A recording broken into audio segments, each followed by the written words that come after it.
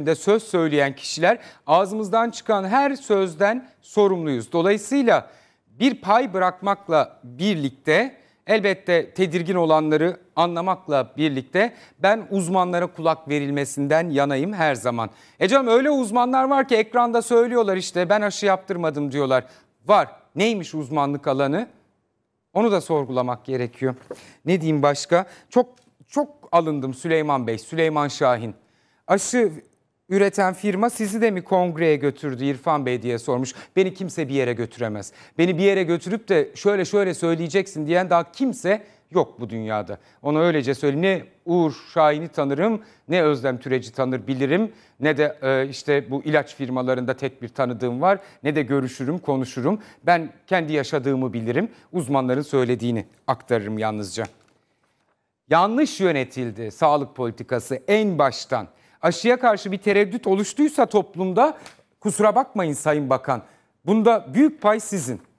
Kusura bakmayın. mRNA aşılarıyla ilgili kamuoyunda soru işaretleri oluştuysa güvenilirliği ile ilgili bunun büyük sorumluluğu da sizin omuzlarınızda vebali. E, dün de açıklama yaptı. Mu mutantı var biliyorsunuz. MU mutantı. Türkiye'de iki kişi de tespit edilmiş. Umarım çoğal, çoğalmaz. Baskın bir mutant haline gelmez. Çünkü delta baskın bir mutant haline geldi. E, aşı değişime uğruyor. Evet sürekli. Elimizdeki mevcut aşıların büyük kısmının değişime uğramış virüslere karşı da etkili olduğu halen açıklanıyor.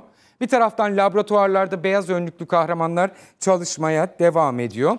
Ee, okullarda da yine öğretmenler, kahraman öğretmenlerimiz çalışmaya devam ediyorlar. Ee, Sağlık Bakanı dün e, açıklama yaptı. Yüz yüze eğitimle ilgili okulları kapatmak istemiyoruz. Çünkü artık elimizde aşı var dedi ama okulların eksiği çok ve kaygılıyız. Velilerde, öğrencilerde, idarecilerde, okul personeli ve öğretmenlerimiz de kaygılı. Çünkü gereken tedbirler alınmadı.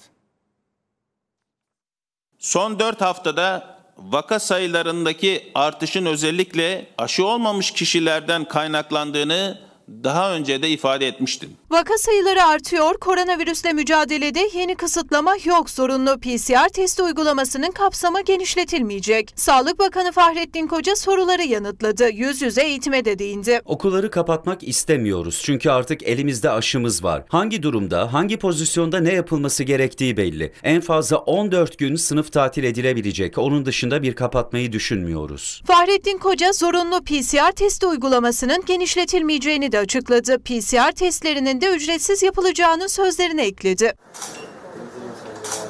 Bakan Koca yeni virüs mu'ya da dikkat çekti. Yeni türler için ilave tedbirler düşünmüyoruz. Mu türünde şu ana kadar iki vaka tespit ettik. Ağırlıklı olarak Delta ve Delta Plus şeklinde. Bu varyantlarda da %90'ı geçen oranlar söz konusu. Aşılama oranının artışıyla vaka sayılarının düşeceğini düşünüyoruz. Sağlık Bakanı Koca toplumsal bağışıklık için toplumun %85'inin çift doz aşısını olması lazım dedi. BioNTech aşılarında 3. doz ihtiyacı olup olmadığının tespiti için de çalışmaların sürdüğünü söyledi. Yerli aşı içinde seri üretimi önümüzdeki birkaç ay içinde geçilebileceğini vereceğinin sinyalini verdi. Yapmayın işte bu umudu e, ne zamandan beri pompalıyorsunuz kamuoyuna. Yerli aşı yer, keşke olsaydı salgının başında. Bir Hıfzı Sağ Enstitüsü vardı onu kapattınız Atatürk'ün mirası. Çalışmalar sekteye uğradı aşı çalışmaları. Şimdi tek tük devam eden çalışmalar var. Onunla ilgili de her seferinde açıklamalar yapılıyor. Ve dalga konusu, espri konusu haline getirildi kamuoyunda da. Bu iş çok ciddiyetle ele almak gerekiyor. O yüzdendir biraz da öfkem. Size aşı firmaları kongreye mi götürdü? Ne münasebet. Siz aşınızı olmamışsınızdır bence diyor Ender Bey. Oldum iki doz kaç kere söyledim. Belgesi de var işte aşı kartımı mı paylaşayım sizinle. İki doz aşı oldum. Dünyada 4 milyon insan hayatını kaybetti bu virüsten. 4 milyon insan. Ee, İngiltere'de haftalar sonra vaka sayısı 40 bini bir kez daha aştı. Vietnam'da bir ilk yaşandı. 8 kişiye virüs bulaştırmış bir kişiye Vietnamlıya 5 yıl hapis cezası verdiler. Bile isteye virüs bulaştırmaktan dolayı. Hindistan'da yeni bir alarm verildi. Dünya koronavirüsle mücadeleyi sürdürüyor. Dünyadaki durumu aktaralım. Pandemi küresel boyutta etkisini sürdürüyor. Covid-19 verilerinin değerlendiği World Matters internet sitesine göre virüs kaynaklı can kaybı sayısı dünya genelinde 4 milyon 589 bin 467'ye ulaştı. İngiltere'de koronavirüsün varyantları etkisini sürdürüyor. Yetişkin aşılama oranı %90 olan ülkede vakalar yeniden yükselişe geçti. Toplam vaka sayısı 7 milyon 18 bin 927'ye yükseldi. Günlük vaka sayısı da haftalar sonra yeniden 40 bini aştı.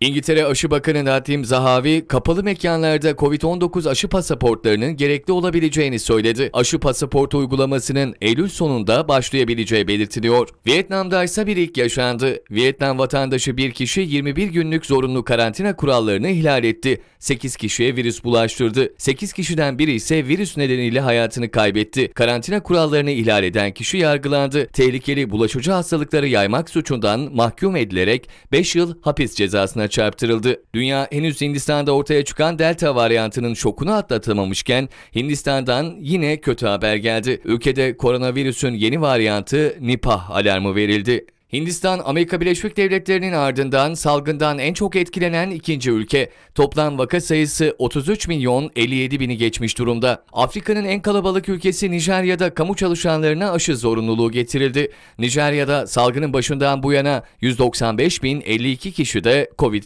Nijerya'da salgının başından bu yana 195 bin 52 kişi Covid'e yakalanmış, 2522 kişi hayatını kaybetmişti.